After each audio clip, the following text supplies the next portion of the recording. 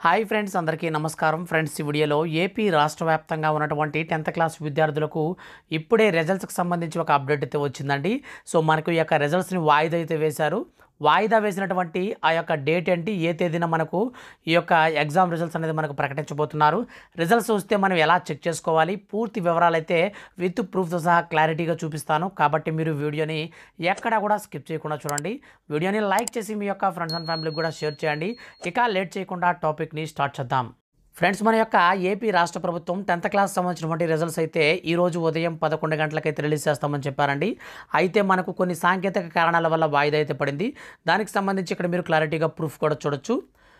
ఏపీలో పదో తరగతి ఫలితాలు వాయిదా అనేసి మనకు అప్డేట్ అయితే వచ్చిందనమాట దీనికి సంబంధించి పూర్తి వివరాలు చూసుకుంటే ఆంధ్రప్రదేశ్లో పదో తరగతి ఫలితాలు రెండు వేల ఇరవై రెండో సంవత్సరానికి సంబంధించినవి విడుదల అనేది వాయిదా పడింది. సోమవారం అంటే జూన్ ఆరో తేదీ నాటికి ఫలితాలను వాయిదా వేస్తున్నట్లు విద్యాశాఖ ప్రకటించింది. షెడ్యూల్ ప్రకారం విజయవాడలో పాఠశాల విద్యాశాఖ ముఖ్య కార్యదర్శి బి. రాజశేఖర్ శనివారం ఫలితాలను విడుదల చేయాల్సి ఉంది. అయితే చివరి నిమిషంలో అనివార్య కారణాల వల్ల ఫలితాల విడుదల వాయిదా వేస్తున్నట్లు ప్రకటించారు. రెండు వేల ఇరవై ఒకటి ఇరవై రెండవ ఏడాదికి గాను ఏప్రిల్ ఇరవై ఏడు నుంచి మే తొమ్మిది వరకు టెన్త్ క్లాస్ పరీక్షలు జరిగాయి. మొత్తం ఆరు లక్షల ఇరవై ఒక్క వేల ఏడు వందల తొంభై తొమ్మిది మంది విద్యార్థులు పరీక్షలు రాశారు. సో ఈ విధంగా మనకు ఈ యొక్క ఎగ్జామ్ రిజల్ట్స్ అయితే వాయిదా పడిందండి. సో ఈ యొక్క రిజల్ట్స్ అనేది మనకు సోమవారం రోజుకైతే మనకు పోస్ట్ పోన్ చేశారు. అంటే ఆరో తేదీ అనమాట జూన్ ఆరు. సో ఈ యొక్క డేట్ అనేది మనకు ఉదయం పదకొండు గంటలకైతే ఆ తేదీన మనకు రిజల్ట్స్ అయితే రిలీజ్ చేస్తారండి.